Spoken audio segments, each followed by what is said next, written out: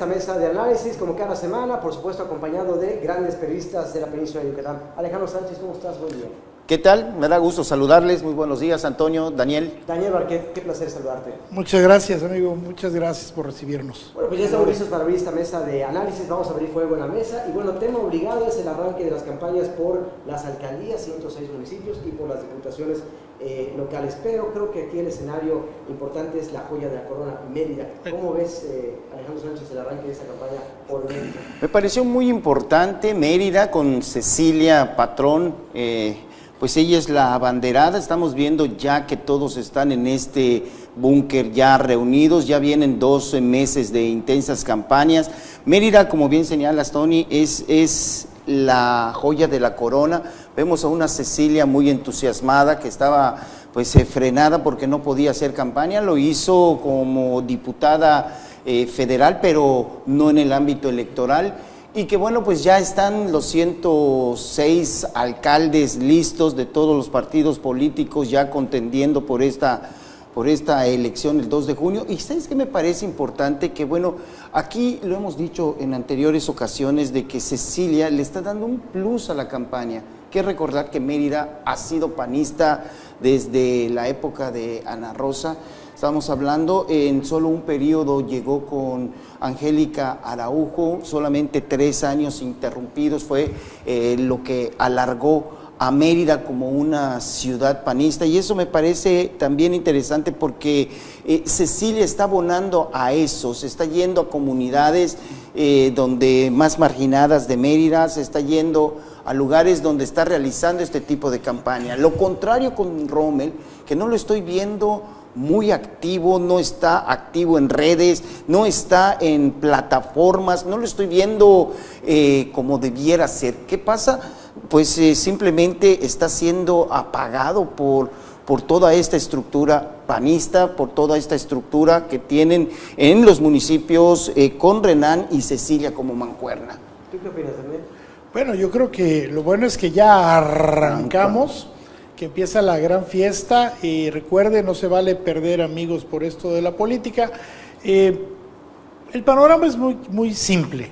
Estamos hablando de una candidata de continuidad, que sería Cecilia, que es Cecilia, y una propuesta de cambio, que es Rommel Pacheco. Hay otros dos compañeros, digo compañeros porque están relacionados con medios, como es el caso de Gerardo Campo. Castro y el caso de JJ este, Styles, Stills, eh, que también representan a Movimiento Ciudadano y este, al PRD. También están en competencia y poco o mucho son puntos, son votos que seguramente estarán sumando. Eh, que no están de acuerdo con las propuestas ni de Rommel ni de Cecilia. ¿Continuidad o cambio? En el pretendido momento que plantean las encuestas, todo apunta hacia una continuidad garantizada o asegurada. Al Se están hablando de entre 19 y 14 puntos. Falta ver que salgan las encuestas con las mediciones ya en campaña. No ha salido ninguna. Todas son previo a, este inicio de campaña. Eh, suponemos, suponemos que Rommel está abajo.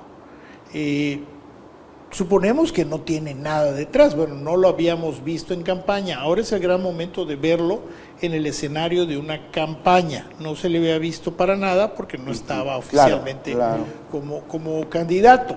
Eh, ¿Qué va a ser la estructura? Vimos a un Guacho Díaz arropando a Rommel.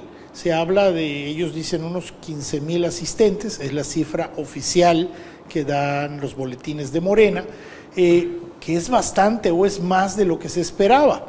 Aquí hay también otro hecho significativo. Tanto la continuidad como el cambio están iniciando en el mismo sitio, en el sur profundo de Mérida. Unos lo hacen en San José, Tecó Sur 2 y otros lo hacen en San Antonio Sluch 3 a lo mejor no es un rumbo muy familiarizado para el resto, el 70% restante de la ciudad que trae otra dinámica. Pero bueno, es muy significativo que ahí arranquen las campañas tanto de Cecilia como de Rommel. Es como una promesa de hacer crecer la ciudad hacia esa zona, de nivelar un poco el tapete de esta desigualdad social, socioeconómica que se da geográficamente entre la Mérida del Norte y la Mérida del Sur, de lo cual hemos estado hablando desde hace 30 años.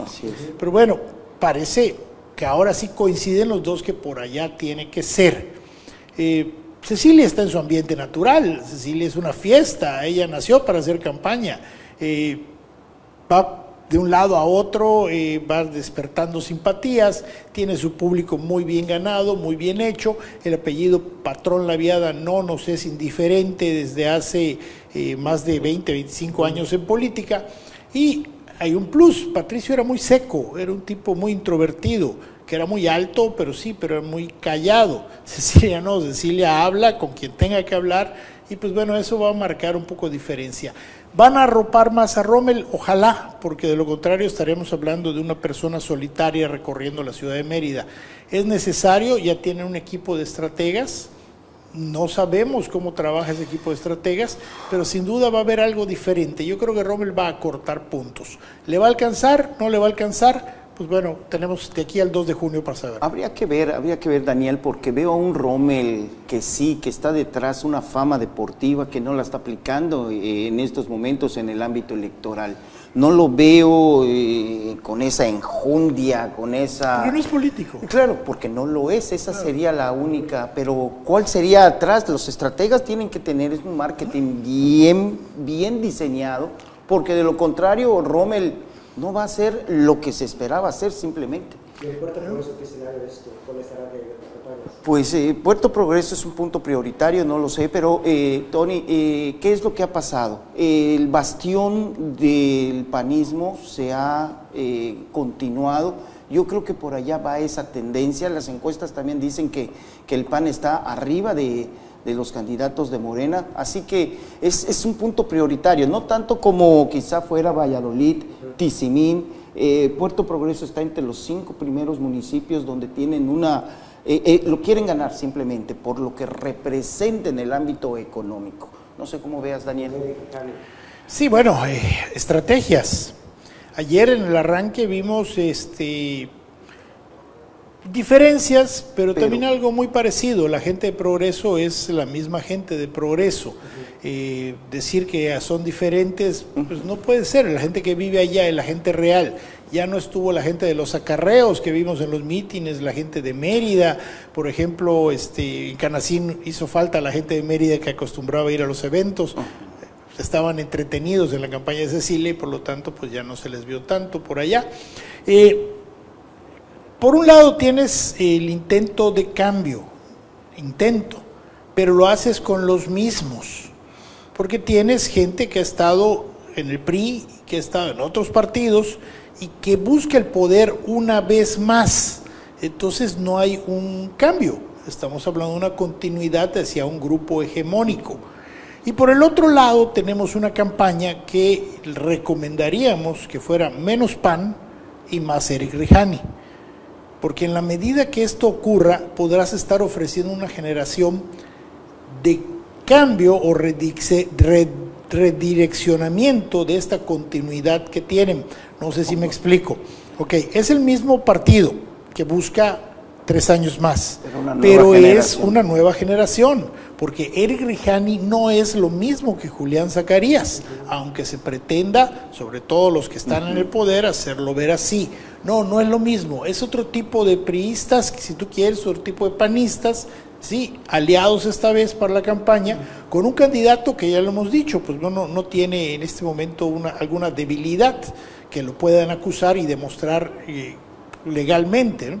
Eh, si hacen menos pan y más Rijani, es muy posible que sumen más gente, porque el pan realmente es pequeño, siempre ha sido pequeño en progreso se nutrió gracias a estas desbandadas de los Minions que alguna vez fueron de Nueva Alianza.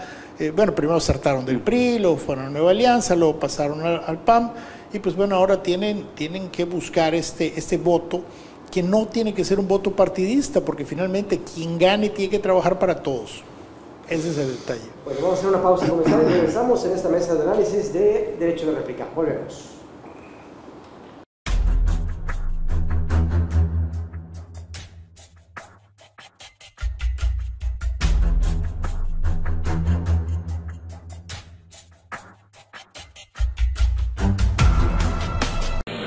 Bienvenidos a esto que es el epicentro de las noticias. No puedo. Eclipse Noticias con Antonio García. Con Antonio García. Bienvenidos a esto que es el epicentro de las noticias. Hoy Yucatán está viviendo un momento histórico. La nueva presidencia digital presenta Eclipse Noticias con Antonio García.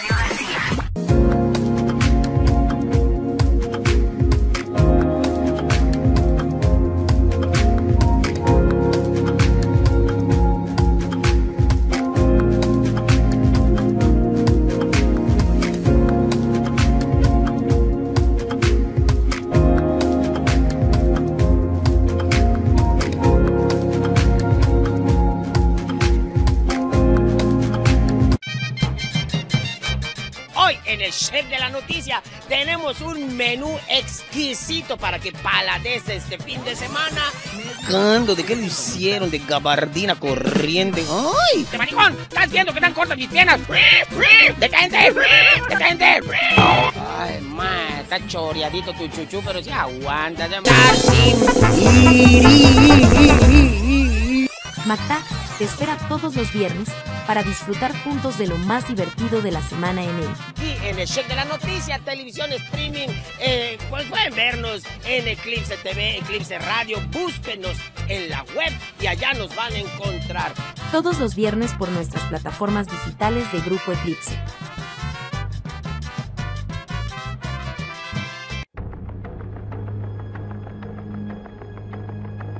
Lunes a viernes. Mantente informado. Que comience la semana con el pie derecho. Móvil para que estés informado. Estamos obviamente transmitiendo completamente en vivo, pero también tengo noticias trágicas que vienen del Estado de México. Te comparto la siguiente información. Mantente informado con los sucesos, hechos y aconteceres del Estado de Yucatán, México y el mundo. Abraham Cobian te mantiene informado de lunes a viernes en Eclipse Noticias, 10 de la mañana por todas nuestras plataformas digitales.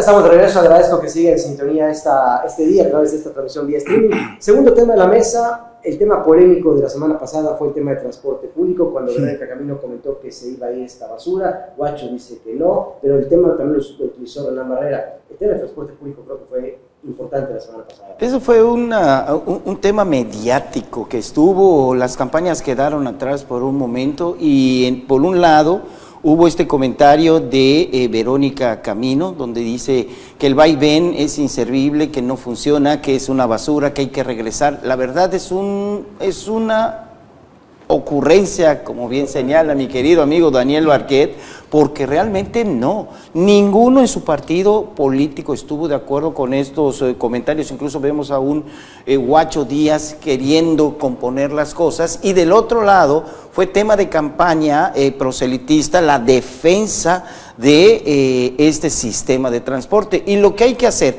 todo gobierno y todos los gobernadores que tuvieron en su momento el poder en Yucatán hicieron una obra emblemática y se les va a recordar por eso. Podemos recordar las grandes acciones que tuvo Patricio Patrón con el periférico, con Cervera y su puerto de altura y, y de todo esto, pero un sistema de transporte como el que tenemos, vamos a hacer un análisis. Si vamos desde la Ciudad de México hacia abajo, no hay ninguna entidad del país que tenga este sistema de transporte por lo que eh, si costó mucho o costó poco la ciudadanía. Y en el caso del, de lo que se paga para entrar al transporte, este, en, este caso, Antonio, ¿qué es lo que sucede? No puede repetirse esta decisión. Estamos hablando de una obra, de un sistema de transporte de verdad de alto nivel. No hay aquí cuestiones políticas ni lo que es la realidad. Este sistema de transporte Biden vino a renovarlo porque lo que teníamos no funcionaba. Y ahora estamos viendo este sistema de transporte muy adecuado a nuestra ciudad. Claro. Fue una ocurrencia. Eh, bueno, hay que recordar, En 2018, las mediciones, las encuestas, lo que usted decía en la calle, es que necesitaban un mejor transporte. Eh, Rolando Zapata hizo ahí un intento, ahí un injerto, le pusieron un poco de pintura a las unidades y crearon un tipo de ruta nueva, pero no era la solución. No. En el 2021 volvió a salir el tema del transporte. La gente estaba cansada de estos ratones locos, de las malas unidades, de los paraderos en malas eh, condiciones. Y pues bueno, surge, surge el vaivén como respuesta. El vaivén para el transporte público es el mayor éxito en los últimos 40, 50 años para el transporte público en la ciudad.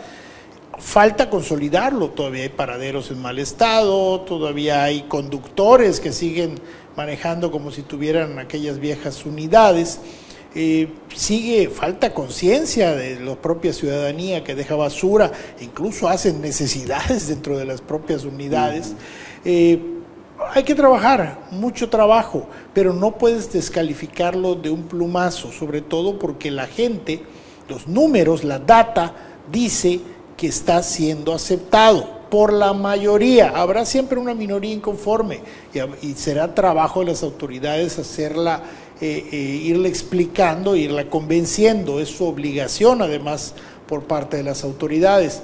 ¿Qué pasa con la senadora Camino? La verdad es que de dos años para acá la vemos con una actitud muy errática.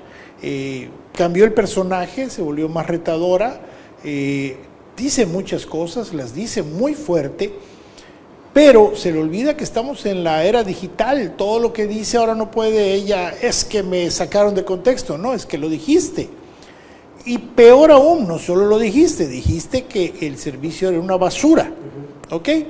Bueno, tu respuesta después, cuando te obligan al manejo de crisis, y es ahí cuando hablamos de las ocurrencias, esa es la verdadera ocurrencia.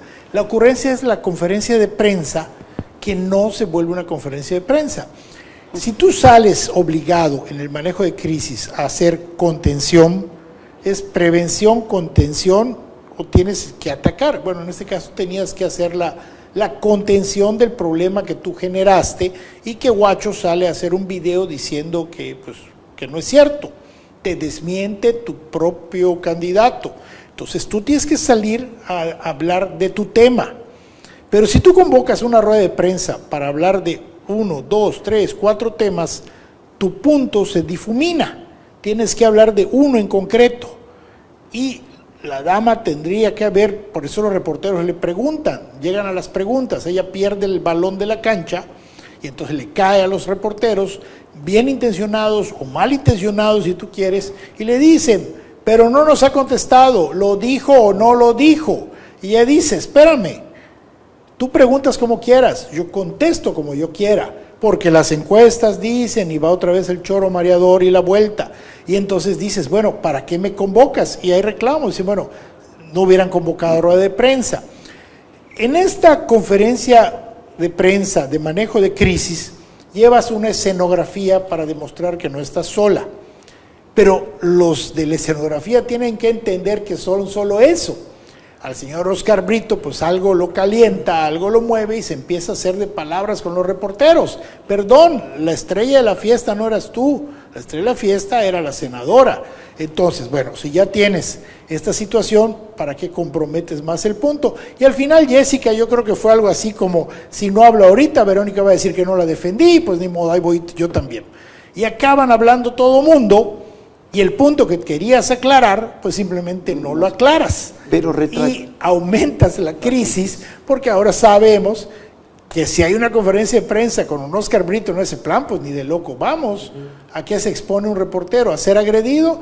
Porque la gente de prensa de Verónica, que no tiene idea de la territorialidad, porque son extranjeros, empiezan a grabarle en la cara a cada uno de los compañeros como si estuvieran haciendo fichas, ¿no? Cuando estás, viene la policía y te están persiguiendo.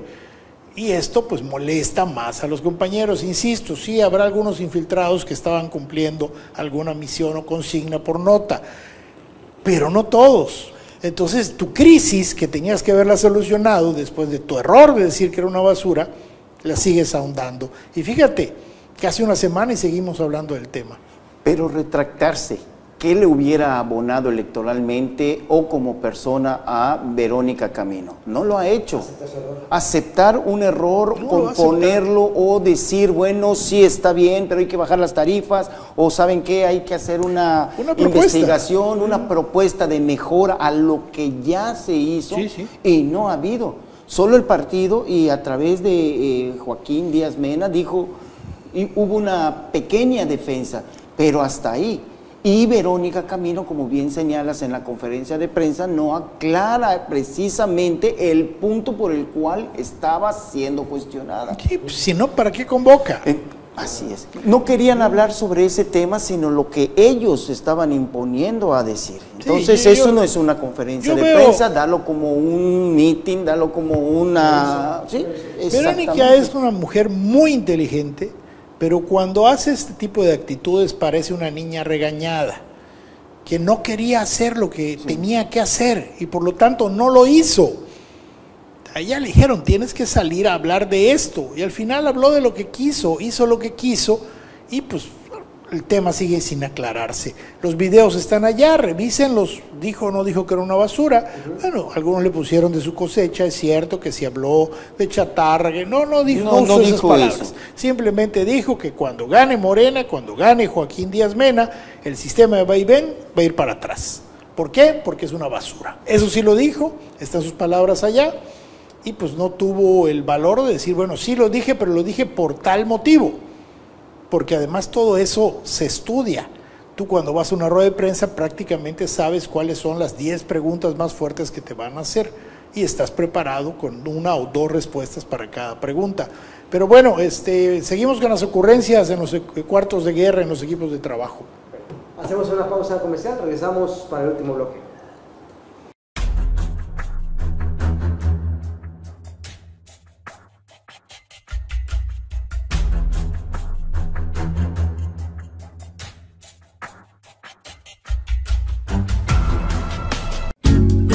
Hotel Los Aluces.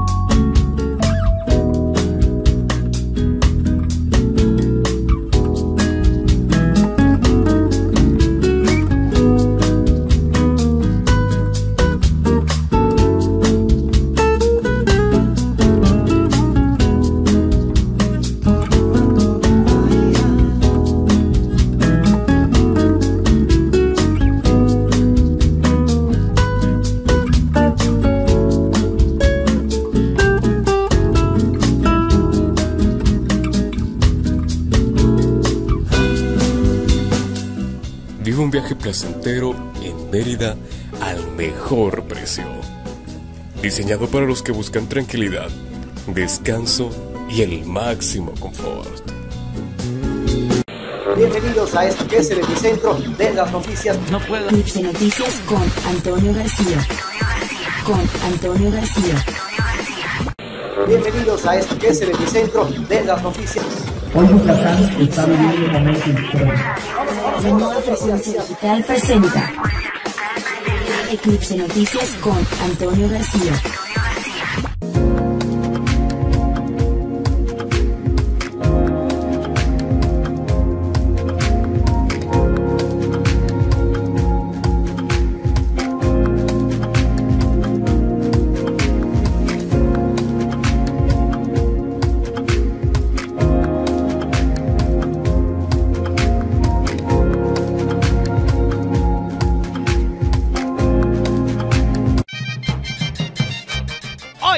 Chef de la Noticia tenemos un menú exquisito para que paladees este fin de semana.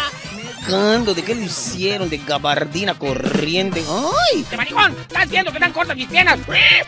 ¡Detente! ¡Detente!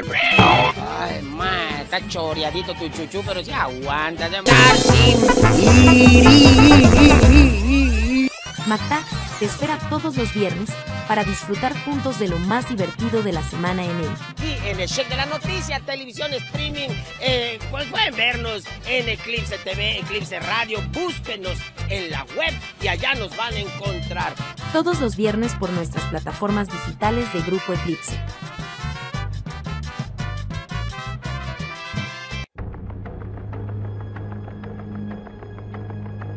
Lunes a viernes.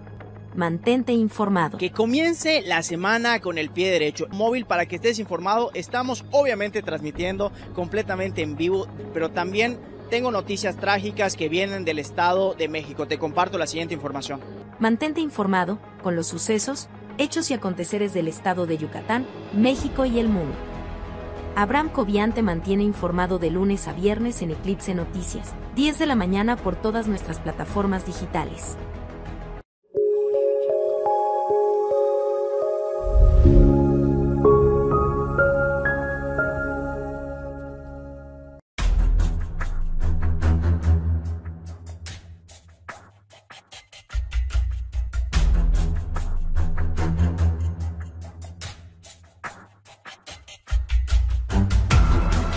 Bueno, para cerrar esta mesa de análisis eh, político electoral, este día vamos a platicar ahora sobre un tema que ha surgido esta semana, la licencia o no de Mauricio Vila, quien va por una senaduría y va por eh, la pluri. ¿Qué opinas? Pues ha estado en los medios de comunicación, todos sabemos que, bueno, el gobernador Mauricio Vila Dosal, pues es, es candidato plurinominal al Senado de la República, esto eh, se dio en los meses pasados, pero eh, luego vino esta tendencia en los medios de comunicación de que debía renunciar, eh, como lo que pasó con Cuauhtémoc Blanco en Morelos, y esto eh, le dice a la gente que debe de renunciar porque tiene un punto político que no puede estar en el gobierno y además hacer campaña interna. No es que haya sido, eh, eh, esto ha sido de un tema de medios de comunicación, no ha sido planteado por el propio, por el propio Ejecutivo, ni se ha ventilado tampoco en peticiones formales hacia el gobierno del Estado. Mauricio sigue haciendo lo que sabe hacer, gobernar. Y dos, ¿qué es lo que está pasando? Estamos a dos meses, ya lo hubiera hecho. ¿Cuál sería el significado de hacerlo en 15 días, en un mes? Eh, eh, eh, hubiera sido desde que empezaron las campañas. Entonces, no es un tema que esté en todos lados en la mesa de negociación, en la mesa de petición y en la mesa de que sí se va a hacer o no. Así que vamos a esperar, pero yo todavía no creo que en estos momentos sea adecuado la renuncia porque, como digo, no hay una petición formal. Daniel, eh, por favor, quisiera que me alimentes con esto. Ser candidato pluri quiere decir que no tiene que hacer campaña, que ya tiene un puesto seguro. Entre comillas, porque dependes de porcentajes. Eh, hace, hace seis años, en la lista de senadores plurinominales del PAN, solo entraron cinco.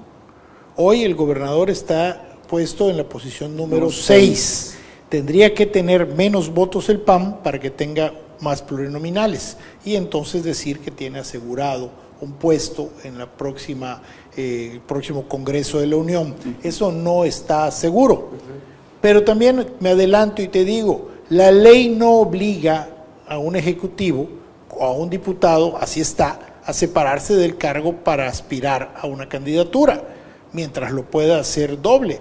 Eh, habría que hablar temas de ética o de tiempo o de economía, eh, para decir si un cuerpo puede estar, ocupar dos lugares al mismo tiempo dentro del espacio. Bueno, pero por ley no. O sea, yo creo que es más un ruido mediático que se tiene que hacer para equipararlo con el tema de Cuauhtémoc, que además estaba haciendo, quería hacer campaña en un lugar que no es el Estado al cual gobierna que no es el caso de Mauricio Vila, y por lo tanto no es obligación, no hay una denuncia. A Cuauhtémoc sí lo denunciaron, a Cuauhtémoc sí llegó al Tribunal Electoral Estatal, se pasó al Tribunal Electoral Federal, y el Tribunal Electoral Federal primero habían decidido quitarle la candidatura.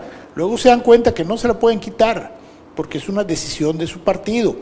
Y entonces dicen, bueno, sí, pero tiene 12 días a partir de que entreguen la notificación para que él se separe de su cargo. Esto en Yucatán no ha ocurrido.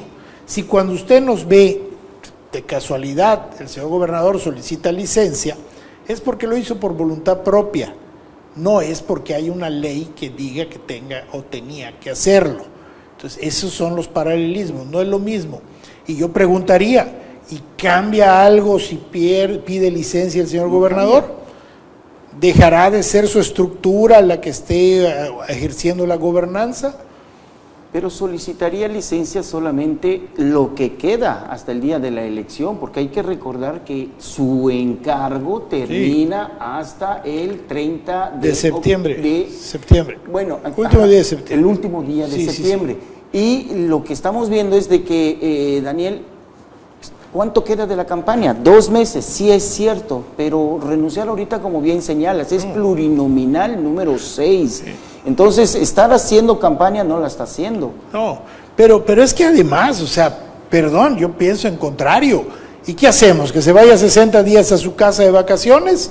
No, señorito, al señor lo eligieron para gobernar y que se quede gobernando. Si aparte le van a dar una pluri por su partido, ese sí es asunto de su partido. Yo creo que él tiene la obligación de culminar hasta el último día de su mandato. Digo, si no hubiera sido ciertas aquellas sospechas de que hoy estaría de embajador en algún país, lo cual quiere decir, o el mensaje fue, es que la elección de Yucatán no se iba a entregar. Y hoy estamos viendo que no se entregó. Hay una competencia franca, abierta y real. Entonces, si ya pasamos por todo esto, ahorita como para qué quieren a Mauricio Vila en su casa 60 días. Y para ir cerrando el tema de este día, tu comentario final, Alejandro. Pues eh, ya estamos viendo lo más álgido de las campañas eh, políticas, estamos viendo ya a toda la estructura de todos los partidos pues en el campo de guerra. Esperemos que sea una elección pacífica. Estos dimes y diretes han sido prácticamente pequeños en comparación a una elección tan grande como lo es en Yucatán. Eso es lo que pienso en estos momentos. Pues bueno, este es un campo de guerra, como bien señala eh, Alejandro, el que llega primero y entiende mejor el terreno de batalla, pues seguro va a poder tomarse sus descansos. Si no hicieron la tarea desde hace dos años, perdón, pero esto no es para improvisados, es por la anécdota para algunos, pero la realidad es que van a ganar los que han trabajado mejor y no, no empezaron ayer, empezaron dos, tres años por lo menos antes. Insisto, todas las campañas que usted vaya a emprender, porque todos somos candidatos a algo, a tener empleo, pues a buscar pareja, a mejorar económicamente, somos candidatos a algo, no solo de partidos. Y todo empieza por algo muy sencillo. Muy buenos días, ¿cómo estás? Un gusto conocerte. Si no logras tener a la gente en tu metro ciudadano, va a ser muy difícil. La gente quiere cercanía. Un candidato que sea solo de papel y que sea solo en medios, difícilmente, aunque tenga una super esposa que esté chateando. La verdad es que eh, es de trabajo, hay que caminar mucho. Alejandro Sánchez, gracias. Gracias. Daniel Marquez, gracias. Muchas gracias. A usted, gracias por habernos acompañado en esta mesa de análisis. Esto fue Derecho de Réplica. Gracias a todos.